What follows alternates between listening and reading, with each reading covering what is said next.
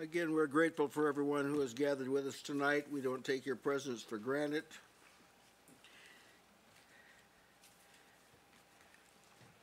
We're having a fellowship in the truth. Welcome those with us on live stream also. Pray that there'll be a very effective fellowship that's transmitted through the air, so to speak. This will be our 31st lesson in Amos. We're going to be in the fifth chapter, verses 19 and 20.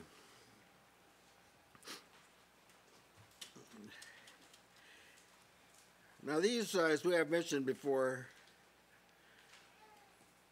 are hard things to, to teach. Not because they're mysterious, they're right up front. I mean, you, if you miss what they mean, I mean, you really, we need to pray for you.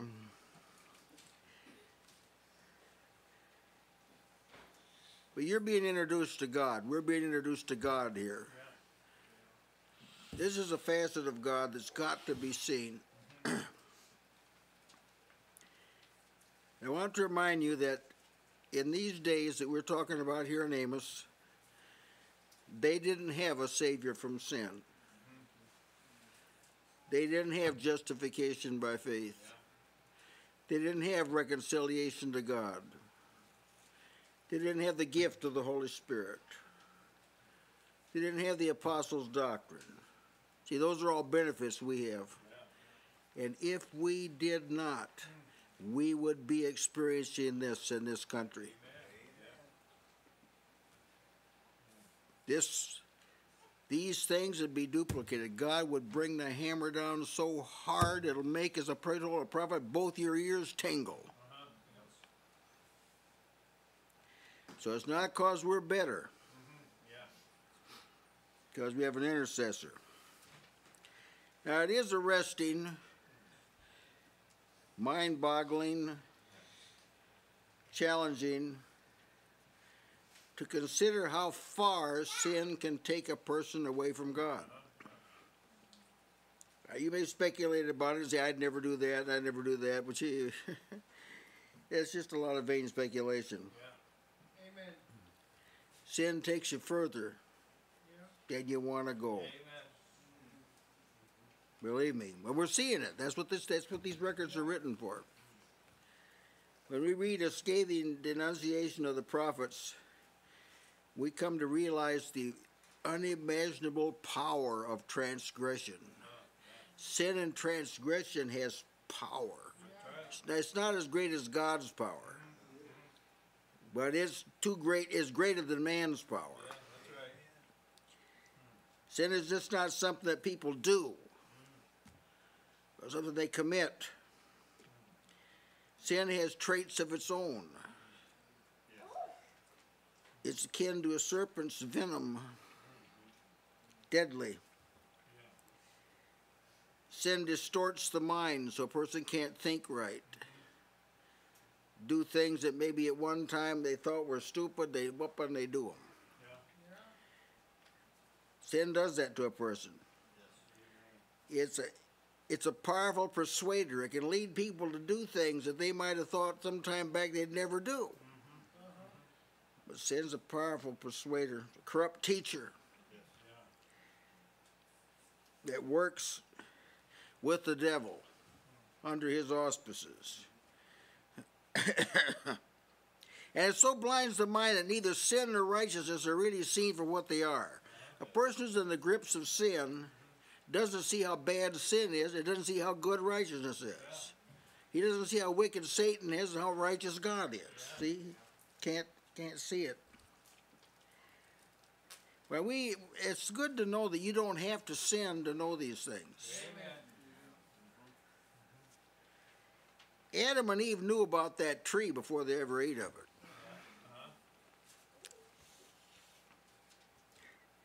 But they needed something beside human power to not do it. You should pick up on that like right away. This is the only perfect pair that has ever lived in the history of the world. And the first time they confronted the devil, they sank like a rock. So God, what's God telling? Some people say, well, did God know they were going to fall? Well, people like this, these are too ignorant to listen to. They each need to go home and work in their yard or something. They, they shouldn't be commenting. God, God is telling the race something about this. That you can't get along without me. Amen. That's what God's telling people. Even if you're the first two people and you're perfect, morally perfect, you're innocent, you've never sinned, you still need me. Yeah. And if you listen to someone beside me, yeah. well, you know what happened. Amen. It still happens. Sin debilitates the soul so that the soul becomes more and more hard, like a, like a callous hard.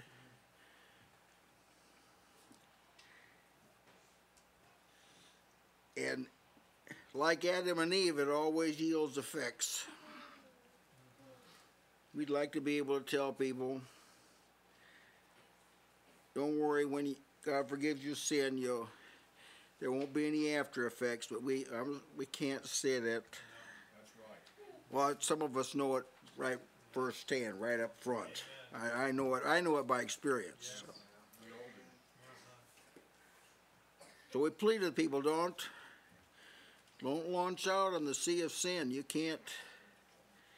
Don't do it.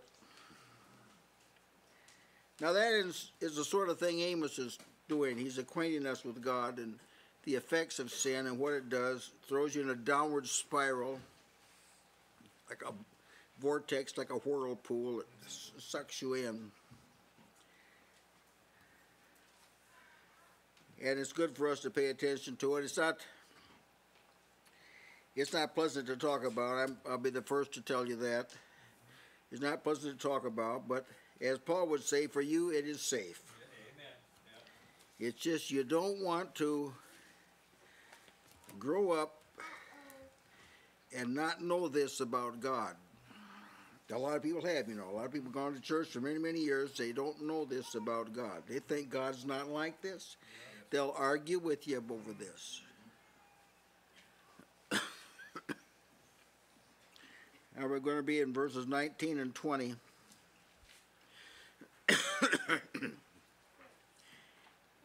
He's just told the people, Woe to you that desire the day of the Lord. These, there, there are a people, they may say they're anxious for the Lord to come, but, but they shouldn't be. they shouldn't be. There's some people, woe to them if the Lord comes, they're in, tr- they're in trouble. Then he takes it from there as if a man did flee from a lion and a bear meet him. The bear met him, or went into the house and leaned his hand on the wall, and a serpent bit him. Shall not the day of the Lord be darkness and not light? Even very dark, and no brightness at all. That's to people that are in sin.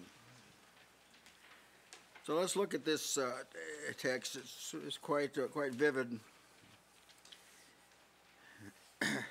Remember, he said in verse 18, Woe unto you that desire the day of the Lord. To what end is it for you? What, what advantage do you think you're going to get when Jesus comes? I've been to funerals, people godless people. I preached godless people at godless funerals, and I had to tell people these people were godless. Don't follow them. Had to tell them that. Some people would preach those funerals and say, now they're free at last. They're with their loved ones in the heaven. I can hear the footsteps. Oh, yeah, I've heard all this. No, sinners need to be told, look, you ought to be giving thanks tonight that Jesus hasn't come yet because if he did, you'd have been in hell just as sure as I'm standing here. Don't be afraid to tell people that. I thank God someone wasn't afraid to tell me when I was in a. bad state. a man, as in a man did flee from a lion.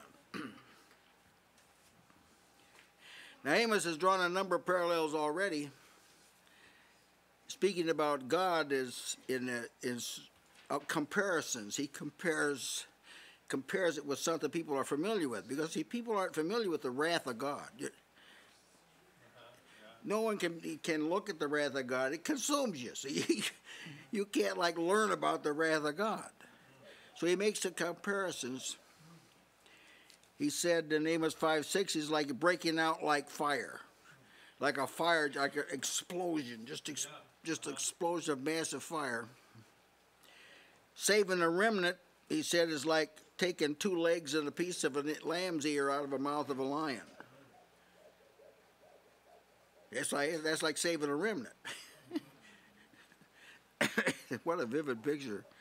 Two legs and a piece of an ear. That's a remnant of people. With a whole, whole lamb, but all that was left of that whole lamb was two legs and an ear. When we went over that, Sister Melissa told me she was a piece of an ear. Yeah, some of you were too, a piece of an ear. That's a remnant is. He's, he's making comparisons, showing you. The saving of a remnant would be like a firebrand plucked out of the burning. He used that too, see? Just like here's a bonfire, and out of his own discretion, with no apparent reason, with no apparent reason, he reaches in and he pulls one stick out of it. Say, why did you do that? He said, none of your business. This is God we're talking about. He plucked Lot out of Sodom, pulled him right out of there. And God's like a roaring lion, like a man fleeing from a lion. See, someone trying to get away from the judgment of the Lord. He's like a man trying to run away from a lion. And God had already told Amos that God is roaring like a lion. Mm-hmm. Yes. I was just gonna say, from our perspective, it look people think, well, I chose him. You know, mm-hmm. Yeah. I chose to believe. People Yeah. talk this way. From our perspective, it looks like that. From his perspective, he says, I plucked you out like a That's brand out of the fire. Amen. Amen. That's the only reason you are believing. Anyway. I gathered them. That's another, but yeah. The point is here that there's no way man can comprehend the, the magnitude of God's wrath and indignation. It extends beyond their comprehension. So we got to make comparisons, couch it in parables, what, because there's no way you'd understand it otherwise. In other words, he's trying to wake. Amos is trying to wake Israel up. He says earlier, he said in chapter 4, verse 12, prepare to meet thy God. Get, get ready, because God's going to get up and going to do something about this situation that's been going on for centuries. Israel had been engulfed in sin for centuries. God now going to do something about it. So get ready to face him. Then he used these words as if. To draw another parallel here. As if. Even though sin is dominant, it's not ordinary. You know, you got to pick up on what I just said there. Sin is dominant, but it's not ordinary. All of sin that comes short of the glory of God, but that's not ordinary.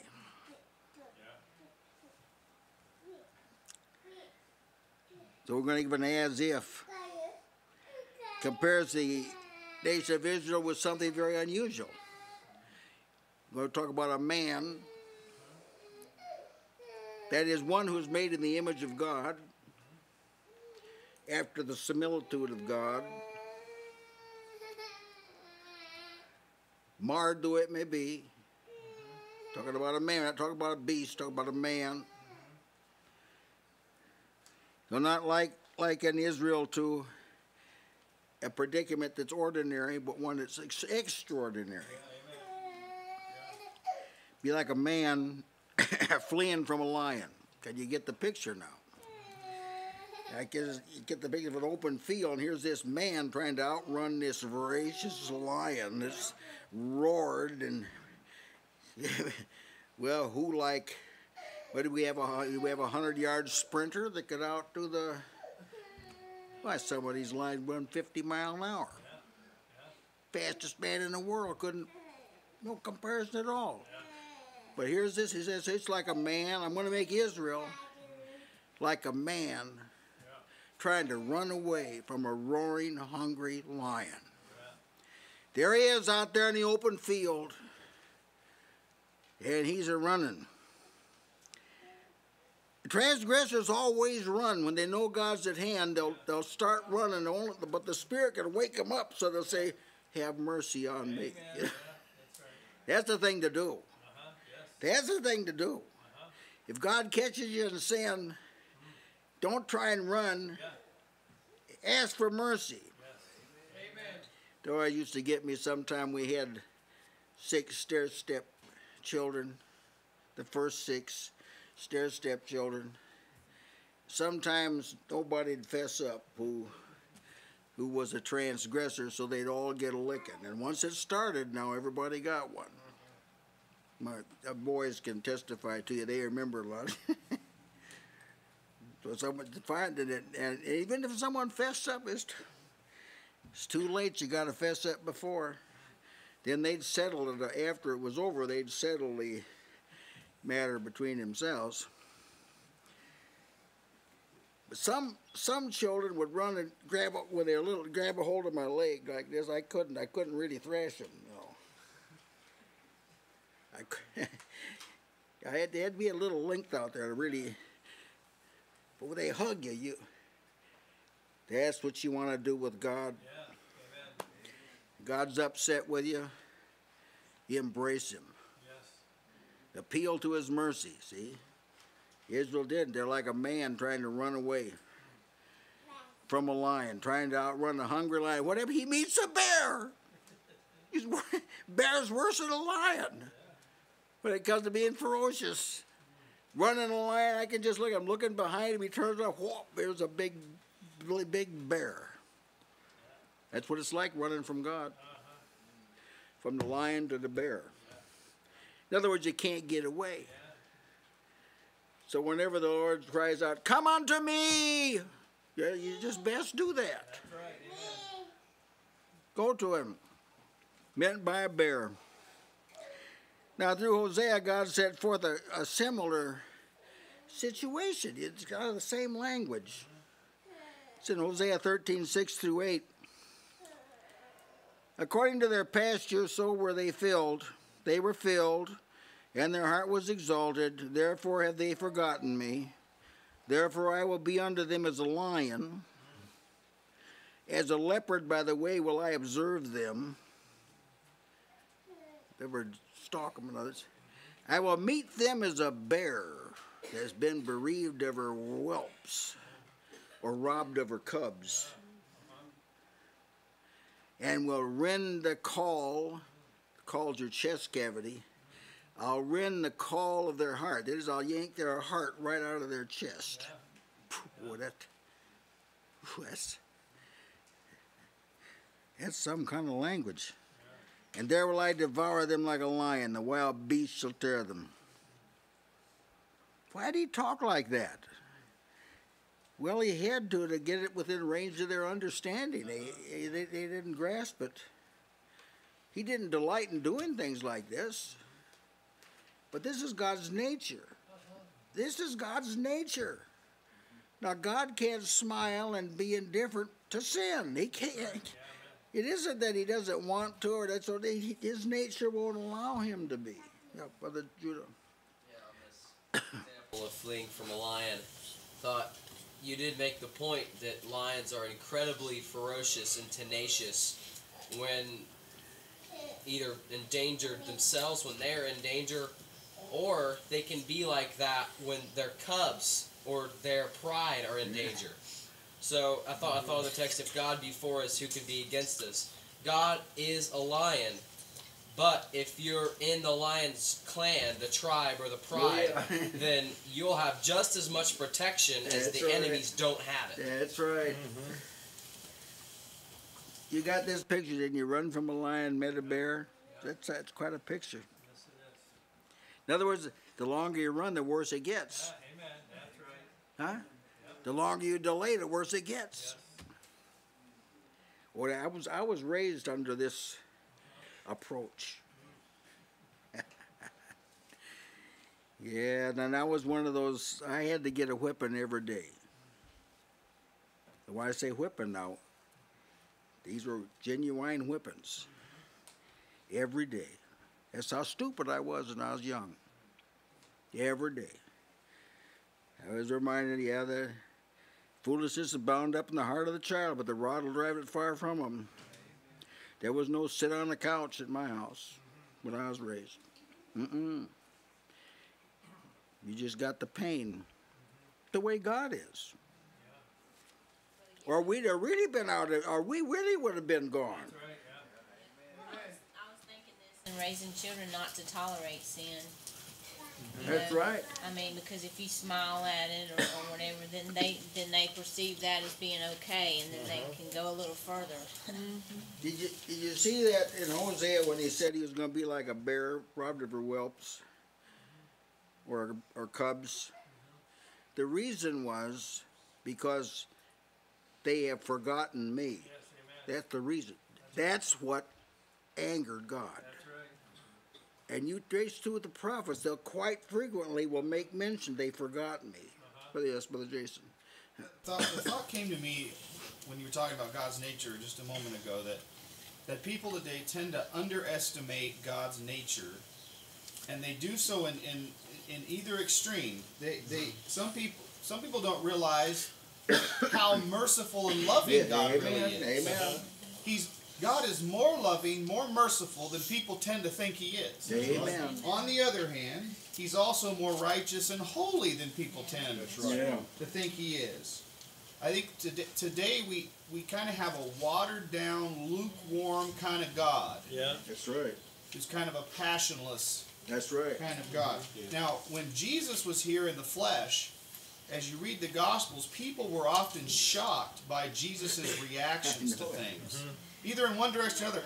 Remember, they were they were shocked. Simon was shocked that he let that sinful woman touch his feet. Yeah. Yeah. How merciful! He was shocked at how merciful he was. Yes, amen. And they were shocked too when he made a whip of cords and run them all out of the temple. That's right. Amen. Yeah. Yes. Yeah. People can feel guilty for what they've done and yet still not go to God. You know, Adam and Eve they sewed fig leaves together. You know, um, the, the the Achan he buried it. I mean, he Yeah. maybe he in his mind he thought, well, at least if I don't use it, I'll just bury it. But see, that, that wasn't the answer. That you can't undo Yeah. sin.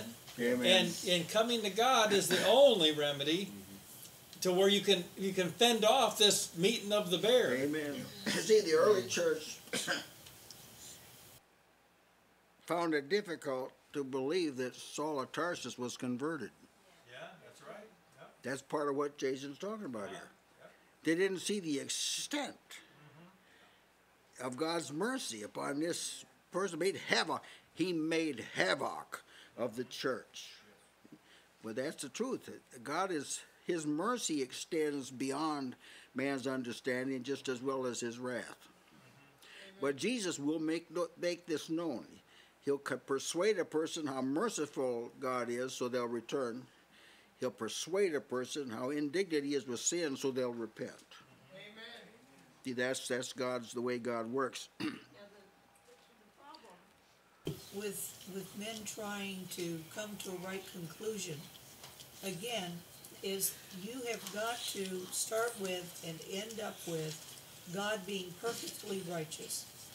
Both his mercy and his Yes. wrath are righteous. righteous, amen. And his judgments in, in what what is determined uh, uh, against or for someone is a matter of his righteousness. Mhm. And whenever whenever God forgives, remember Abraham believed God and it was accounted to him for righteousness. Yeah. It was imputed to him. It was God's righteousness that was at stake. It was God's righteousness that was imputed. He didn't have any other righteousness that God would accept. There is no other righteousness Amen. God will accept. Mm-hmm. So whenever people look at a situation, there are things that we can see. But if if our vision and our understanding of the righteousness of God is not accurate to that extent, our assessment will be inaccurate. Yeah, amen. Amen. Now, they run like a, as, if- as if a man was running from a lion and met a bear. What God is saying is, Israel has gone too far. He's not going to liquidate Israel as a nation, but there's a generation that's going to, just like the generation of Jesus, their generation was rejected. There was a remnant saved, but the generation was rejected. That's what he's saying. I'm not going to let anybody pray for you. Yeah, Jeremiah, I give you the text here. God told Jeremiah, don't pray for this people. If you do, I won't hear you. And if they pray, I won't hear them. Why? Three yet four transgressions. Remember, they went, they crossed the line. They went too far. Say, how, how do I know if I went too far? Well, if you came back, you didn't go too far. Yeah, that's right. Got back. Amen. If they genuinely come back. That's right. Yeah, well, that's the only, yeah, that's the only, only what he recognizes, yeah. A kind of, it's like someone says if it's genuine faith. Well, there isn't anything, but that's, there isn't any, this is genuine faith. We had some, for instance, we had some that were in Babylon with Ezekiel, Yeah, and they would come to the prophet and ask for a word from the Lord, and the Lord said, "I'll not be inquired of these right. men. They still have idols in their hearts." what are you doing here? Yeah. That's exactly right. That's the same thing's gonna be addressed here. Yeah. That's exactly right. what will the day of the Lord advantage you? He already has. That's the same thing. Now, what happened? God can God come to the point where He will abhor and hate people He chose and delivered? Is that possible? Well, we um, we don't have to speculate about this. This is the psalmist says Psalm 78, 58, 59. The Lord, the Lord kindled, the wrath, therefore was the wrath of the Lord kindled against his people, insomuch that he abhorred his own inheritance. God was moved to jealousy with the graven images. When God heard this, he was wroth and greatly abhorred. Israel, not, not the Egyptians, not the Amalekites, Israel. Hmm? So, yeah, this is an aspect of God that has pretty well been hidden in our day. He- yeah, You can always come back. That's it right. doesn't matter. See, that's, That's the kind of message that's being preached. Yeah. Doesn't matter what. Well, there's there's a sense in which right. that's true. yeah, it's. They forget that some people don't want to come back. Yeah, that's right. They gnaw their tongues for pain. Yeah, that's right. Blaspheme God under Uh-huh. pressure. Amen. Now, what we just read here is an ex, an extension of a word that was already given Mm-hmm. in the 18th verse. Woe unto you that desire the day of the Lord. To what end is it for you? That is, what Mm-hmm. what advantage? If the Lord shows up, do you really think it's going to bring an advantage to you? You'll start running like a man runs from a lion. You'll Uh-huh. run into a bear. That's right. That's what happens. So, see, there are a lot of people who will say they're looking forward to Christ's coming, but it's just, it's just words that, that they don't understand. That they're the kind of people that they, his coming is not going to advantage at all. There's still some that are told, well, Jesus is going to come back again and establish a peaceful government Yeah, yeah. and then you'll have a second chance. You'll be able to. This is taught now, come on. Mm-hmm. Oh, yes, it Brother is. Jason, go ahead. Yeah, I just I wanted to add that the, the people who say that, I can't help but think that the people who say that are particularly religious people. Oh It's a yes. pretentious religious. There's a pretentious religiosity about people saying that they want the day of the Lord, mm-hmm. Yeah. when when in actuality the There day of the. Lord is not something they should be wanting. There there's some there's some kind of religious pretense Yeah. that makes somewhat that make that puts someone in that condition. They may, they may sing. Oh, that will be glory for me. Mm-hmm. They haven't fallen in this category. When all we all get to heaven, uh-huh. they really like to sing a good tune and everything. Well, we got this man. He's running from a lion. He runs into a bear. But let's let's say that he got into an imagined place of safety. He did get out of the field and he got into a house. He went into the house, leaned his hand on a wall, and a serpent bit him. He couldn't get away. There it was. The house is safe most of the time. House will keep you from beasts of the earth and animals, sort of thing. But he's turning to another figure to show you you can't escape. Once you have stirred up God's wrath, there's no way to escape it. The objective is not to stir it up. Don't do it. And actually, God's given you a conscience, so your conscience will blow the whistle and flash some caution lights. You listen to him. or he went into a house. Now, this is not an either or situation. This is two sides of the same coin. It's running from a lion, meeting a bear, coming in a house, a snake biting him. That's three different pictures of the same situation. They, they couldn't get a, they couldn't get away. Couldn't get away at all. Now I, I have to I have to give you Dr. Peterson's take on this in the message where it says he entered into a house, he says, a woman goes home after a hard day's work. Yeah, that's how he translated that. That's in what they call a Bible. That's right, I'm telling you the truth. Well, wait till you hear until I tell you the rest of it. And the safety of the home is accented here. But it's but the safety of the home, it doesn't work when you've agitated God. When God's provoked, there isn't a place of safety. A lot of places may have protected you under other circumstances, but it won't it won't under this circumstance at all. So in his figure he's high, said home at last, he puts his hand, leans at rest, been running, leans and a snake bites him out of the wall. How likely is that?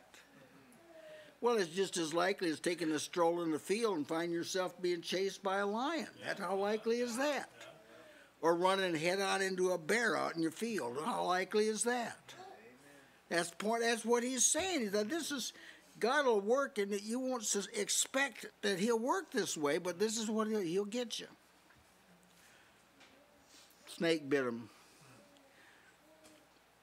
Now, the picture here to me seems to be that of taking refuge in vain religion. I, I got in the house. I got in the house. I, I think we ought to let's take a trip down to Bethel and offer a sacrifice to that golden calf down there. Let, us try that. Let's let's go and let's let's sing one of those good old songs we sing when we're around the Lord. Well, if you bring it up to our day, let's go to church today. Let's get let's give it a try and see if that helps. Maybe we go where we can have a kind of a lively praise service, and maybe we can get all caught up and forget how ignorant we've been and how sinful we've been. No, you can't get away from it at all. But this is to me what this is a picture of taking refuge in a humanly contrived system of religion. See, they were they had they they built an altar. They built altars. They had altars in Bethel. They were engaged in. They they paid tithes every three years. Every three years.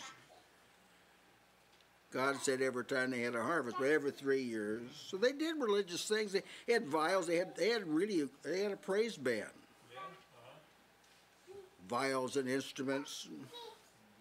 You're going to talk about them. Amos going to talk about them. Said God can't stand your music. To tell them. It's like being in a house. God talked about people who made it into the house. He said, uh, Why do you transgress the commandment of God by your tradition? Your religion is a sin. That's what he said. You transgress God's commandment by your tradition, which was their religion, their humanly imposed religion. Well, to, transgress the word of God. how about this? You have made the commandment of God of none effect by your tradition. If you want to make sure people don't obey God, have them come to your church. What? That's kind of strong. I know that's kind of, I know that's kind of strong, but that's what he's talking about. The commandment of God, when you're around this kind of a traditional environment, wait a minute, wait a minute. Did you wash your hands? Yeah. See? Did you wash? what? How was that vessel washed? So they were sticklers for this now, mm-hmm. but they made void mm-hmm. the commandment of God. God can't even talk to people in that kind of environment. It's not I say he won't talk. Do it. Here's another. Full well ye reject the commandment of God that you may keep your own tradition. Well, that's a bad translation. That's what that is. Why did you say that? So I could keep my tradition. Yeah. Well, that's that's written on the old scriptures that are done away. That doesn't apply to us. Why did you say that? So they could keep their tradition. that's why. Baptism has nothing to do with salvation. Don't you know that? Why did you say that? So we could keep our tradition. That's why we said it.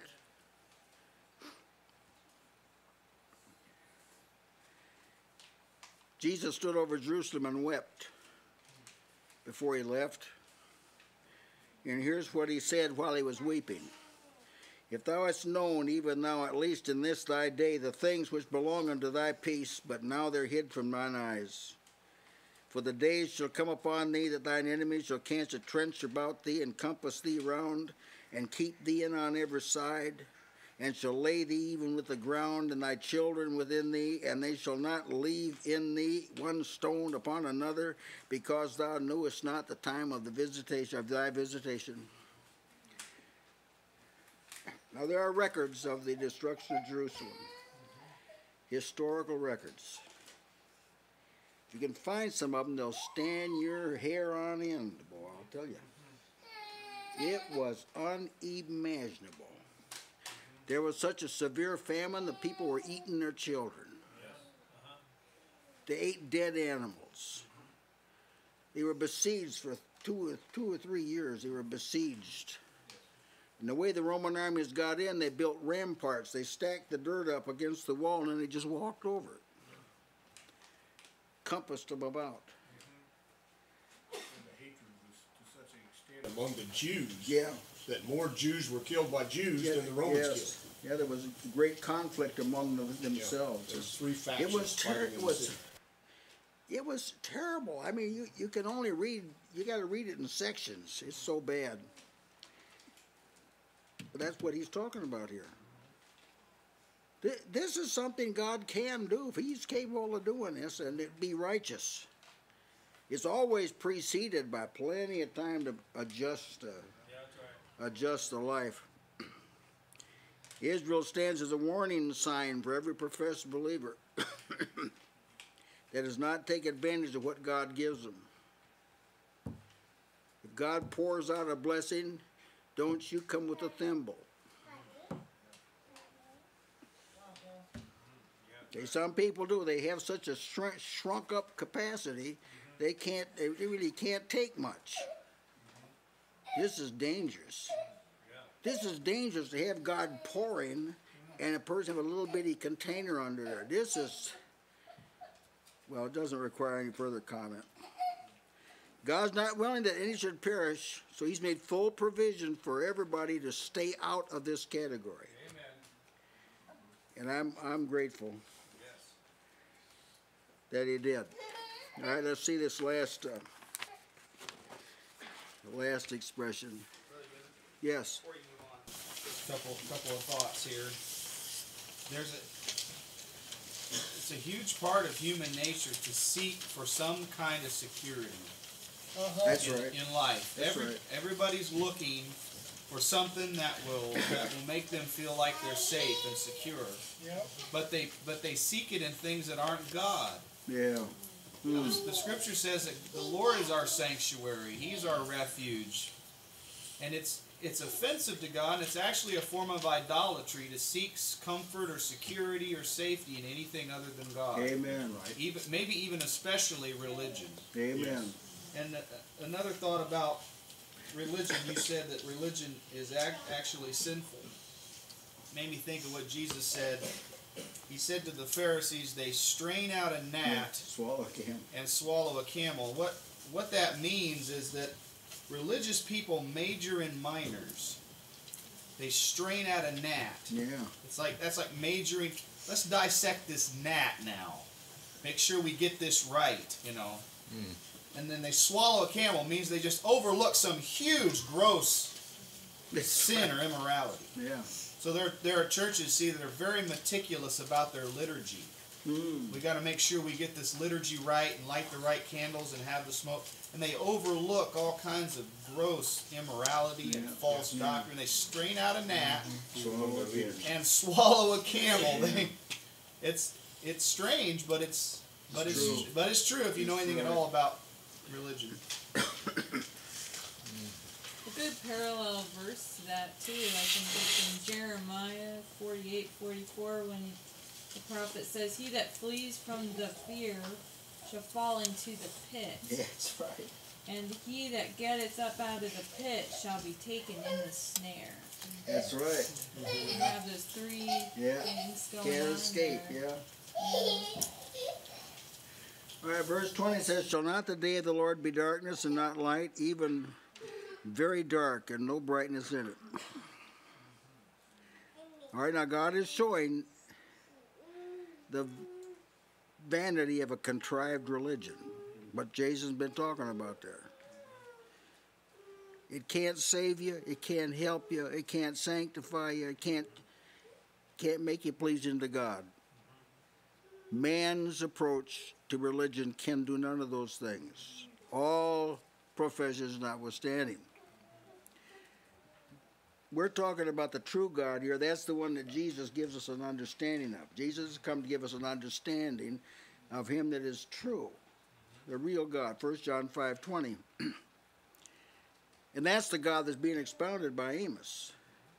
He's expounding that God without an intercessor, uh, without a savior, without the blood of the everlasting covenants. He, he describing what what a people been tutored by God, how they fared under without all of this, without these all spiritual blessings, without all things pertaining to life and godliness, without peace with God. This is how we'd fare the same way if it wasn't for a better covenant established on better promises. In God's dealings with the nations through the prophets, God displayed that He doesn't care where sin is found. Is intolerant of it. Even if it's in heathen nations that have no covenant or an old law or anything like that. It's the nature of sin. God is not just concerned about who sins. It isn't that some people can sin and get by with it. Like we're all sinners, but we're forgiven. You know, that sort of approach. It's sin is what God has the issue with. And that's the issue that Jesus settled. We, that's why I'm grateful he did too. In God's dealings, he makes sure you know what he thinks about sin and what can be done about it. the day of the Lord shall not the day of the Lord. Other versions uh, read the day of Jehovah or the Lord's day of judgment or the day of Yahweh or the day when the Lord judges, the Lord's special day and God's coming.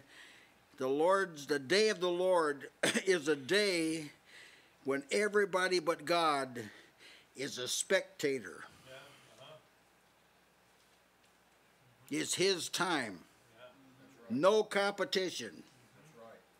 No resistance, no wars, no arguments. It's his day. No pretense. It's his day, the day of the Lord. Day of the Lord is mentioned, that phrase, the day of the Lord, is mentioned 21 times in Scripture.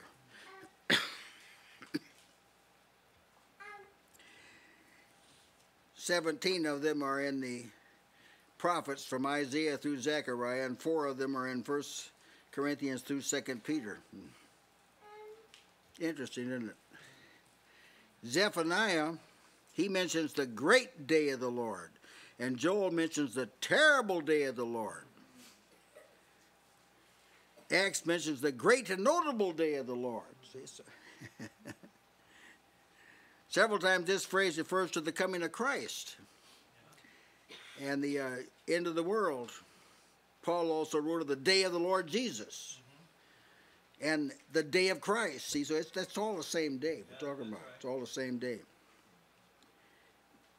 When this phrase was used by Joel and the prophets, it ordinarily referred to some unavoidable act of divine judgment. The exception, Joel mentioned the great and terrible day of the Lord. He talked about the end. But most of the time, the day of the Lord was a time of visitation. I'm coming to visit the sins of the people upon them. On this kind of day, men they are responders. They just they just spectate and res- uh, God's mercy. No resistance, no anarchy or rebellion. See, the day of the Lord will confirm He is really sovereign. Jesus is really the one and only potentate. He really is. This is just isn't a, a nice saying. This is the way it really is. And when anyone sees them as they are, they wither. There's no resistance. Even the demons, they recognized who Jesus was. Nobody else did, but they recognized who Jesus was. They they didn't uh, launch an initiative against him. Amos is speaking to Israel of a time when God will quote, as Jeremiah said, remember their iniquity and visit their sins. We've mentioned here quite a few times recently that when God looks on something, he does something about it. Whether it's to show mercy or whether it's to show judgment. The psalmist will say, Look on us, look on me. He wanted because he knew God. He knew God. He knew God's nature. If God just look and see this situation, I mean, he'll do something about it. Uh-huh. Or look on my enemies. Look at them. Look at them, Lord. Look what they're doing. so the day belongs to God exclusively. One, since Jesus has been exalted and enthroned at the right hand of God, the day of the Lord refers to his return. Uh-huh. That's what it's talking about now. That's the next big thing on the divine agenda. He's going to come with all his glory, in the Father's glory, and the glory of the holy angels. That's a bunch of glory, let me tell you. And he's going to come with all that glory, and he's not going to confront like a, army down here. Say, we'll show you. We're going to rebel. This isn't going to happen. Not on the day of the Lord. Now he says, Shall not the day of the Lord be darkness, even very dark, with no brightness in it? Now he's talking about the judgment for Israel, understand? Now, darkness is a, is a frightening thing. The only th- time I ever experienced total darkness was in one of the caves, one of the Missouri caves here. And I did, boy, I didn't feel comfortable. Put it that way. It was just total darkness. wasn't a, wasn't a, wasn't a pinpoint of light. And a man took a match, you know, like a cavern. He lit that match, and I could see everybody in the cavern. That little match. Mm-hmm. Yeah. You got to seek some light. You could just have some light, even if it's a smoking flax light. Some light. But he said, For you, when the day of the Lord comes, total darkness. His fear will dominate. There'll be no hope, in other words. There'll be no hope. Total darkness. And he told him, I'm going to come now. For three, yet four transgressions, you've sinned. I'm going to come. I'm going to visit you. I'm going to punish you. I'm telling you ahead of time now. I'm going to punish you. He tells Amos to tell him that the, the remnant will get the two legs and the lamb's ear out of the mouth. We're going to save a remnant. We're not going to destroy the righteous with the unrighteous. I'm not going to do that. Day of the Lord. For everybody else, it's going to be a day of darkness. You won't be able to see to do anything. If you, if, if the thought entered someone's mind of mount a rebellion, they couldn't see to do it. Total darkness. At that time, sinners will confront God without a single helpful resource. Now, I, I'm afraid of confronting God like that. I don't want to confront God without anything outside my own person to help me. Particularly like the Lord Jesus or the grace of God or But there won't be any for the for those that are not reconciled to God. There will be no help. There'll be nothing for relief. There'll be nothing to cause the fear to subside. It's only going to get worse. It is a fearful thing to fall into the hands of the living God. It, it is, brother. It's a fearful thing to do it. We don't want to talk about this all the time, but we want to talk about it enough so we don't forget it. That we remember it. Hosea said of Israel, they have done, they have deeply corrupted themselves, as in the days of Gibeah. Therefore, he will remember their iniquity, he will visit their sins. Jeremiah said, I will punish you according to the fruit of your doing, saith the Lord, and I will kindle a fire in the forest thereof, and it shall devour all things round about. I'll burn up your religion. God's going to, when Jesus comes again, false religion is going to all be burned up. People may be dependent on it now, they'll not be able. You won't be able to depend on it then. There'll be even very dark. That line, even very dark, and then and no brightness in it. He just brings it home very strongly. The next day of the Lord will be the coming of the Lord Jesus. It'll be unparalleled. Darkness will be outer darkness. So, what exactly is outer darkness? Go ahead. Okay, go ahead. Um, darkness, you remember, is associated with what was before creation. It was, it's associated with it's associated with chaos Yeah, or the absence of order and form. yeah, It's associated with emptiness or Yeah. nothingness. it's the opposite of creation. Now, Yeah. so wrath, in a sense, or darkness is associated with God's wrath. It's the opposite of creation. yeah, It's uncreation, Yeah. or the it's the opposite of life. yeah, mm. Because we're going to inherit eternal life. Yeah. See, or hell is the outer darkness. It's, it's the absence of everything good. yeah. Mm-hmm. It's the absence of life. It's not the absence of existence. Oh, no. It's the mm-hmm. absence of life. That's right. When God created the world, He said, "This is good."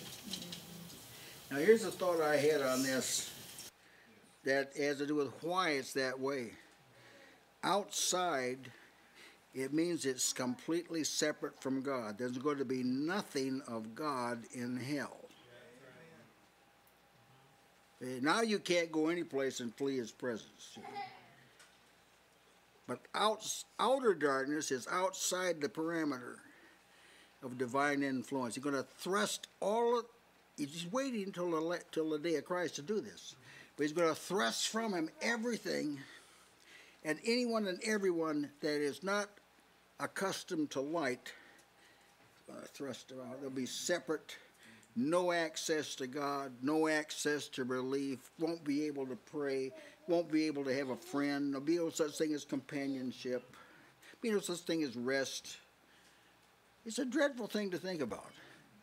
But all the things that we have, we, we may have grown accustomed to them, help and comfort and sleep and rest and subsiding of pain, and that's all because you're in the domain ruled by God.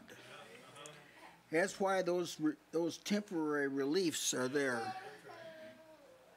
But it but this we're talking about outer darkness. cast the unprofitable servant into outer darkness. What's out there, Lord? Weeping and gnashing of teeth. See?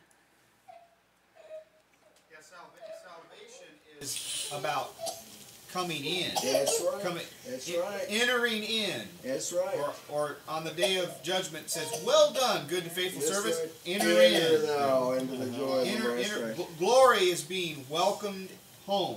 That's right. Yes. Outer darkness is being on the outside. That's right. What a picture, I tell you. Mm-hmm. Well, and in Now, John, he says that the light shines in the darkness, and the darkness does not Comprehend comprehend it. But what you're speaking of is where the light isn't even shining That's right. the See, that's- darkness. Amen. Yeah, there's some No, no person, so far as we know at this point, occupies that place yet. Although it, the next thing to it, ever where the rich man was, but he could see. he see, he saw, he saw Lazarus. It was a miserable thing to, for him to see. He was comforted. See. Anyway, go ahead, sister. Be a great recogni- recognition of what God did do. I mean, now people deny the Lord, you know, and things, but then we know they won't be able to deny him. They'll see, but they'll even know in this outer darkness all the things that he upheld right. and what he did That's and all that. This total nothingness without him. Jesus said, there in Mark, where the worm dieth not and the fire is not quenched. The worm, that's not like a maggot. It's a, it's, it's even a, a, an English definition of the word. It's the gnawing conscience. It's the conscience gnawing. All the times that you had, here's where he visited me. There's where he visited me. Here's where I was called. I was moved here. They'll never be able to blot that out of their minds, and the fire's not quenched. It'll, their passion will burn, but no expression for their passion. They've cultured a lifetime wanting this and wanting that, and now in outer darkness they can't have anything. They still want it. They can't have it. Well, we're going to have everything we want. Think about that. Go out, no more. Go out no more. Amen. See the what a contrast. That's what we remind want to remind you that God has provided a, a way out of this dilemma, being in this dilemma, a way to come in, stay in, and when you're in, get closer. See, once you're in, you get you draw nigh, get closer. Jesus, whenever he uh, took sin upon himself, he knew what this feeling right. was. I mean, he knew it. Oh yeah, He's the only one that could know that, and he still agreed to do what he that's did. right. Yeah. He had never felt the contamination of sin. He'd never had a contaminating, poisonous thought. And then, when the sins that were laid upon him, all the sins of the whole world were laid, he felt the sudden impact, not of a one transgression has driven drove Judas to the hang himself. Think of all the sins of the world and the impact that had upon the the soul of Jesus. See, that was no, he drew back. That's why he drew back. It wasn't that he was afraid of the pain and all this. There were two thieves went through all the pain he went through. See, that wasn't it. You weren't you weren't saved by the physical sufferings of Christ that were atrocious. Even his visage was marred more than any of the sons of men, but that's not what saved you. It's his soul being made an offering for sin. That's what saved you. And he knowing what this was what was involved, he was willing to forfeit his will to do the will of God. See, now you he will give you the ability to do that too. Amen. See, there's some things that'll be just as hard for you as that was for him. That's right. And you'll have to make a choice. Mm-hmm. Thy will or mine. And you want to learn to say nevertheless. If there's some if there's some way I can avoid this, if not, thy will be done. Right. Then he'll strengthen you, see? You'll be able to come out of it, in other words. You won't you won't be consumed by it. Well, those are some of the thoughts I had today that I tell you, I have a deep admiration for these prophets.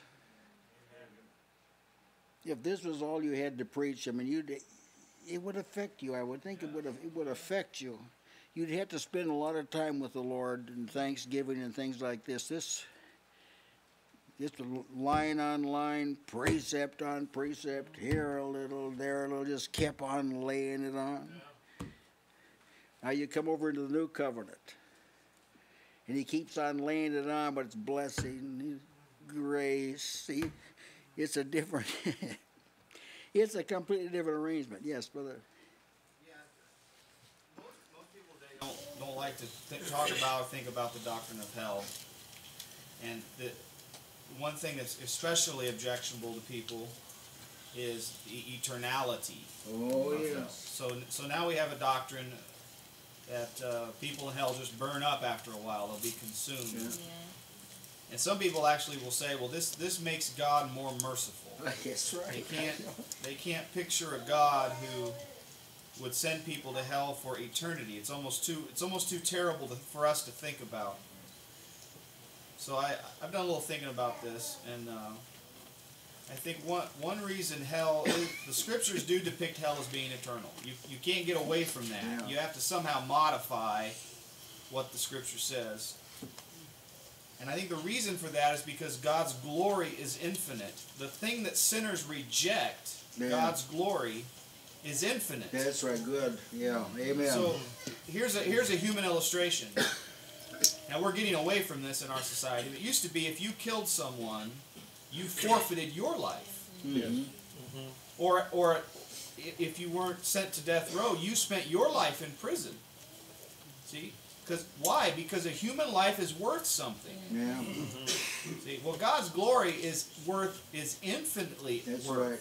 something. Mm-hmm. Yes. it's infinitely worthy, I should say. He couldn't be satisfied by a temporal punishment.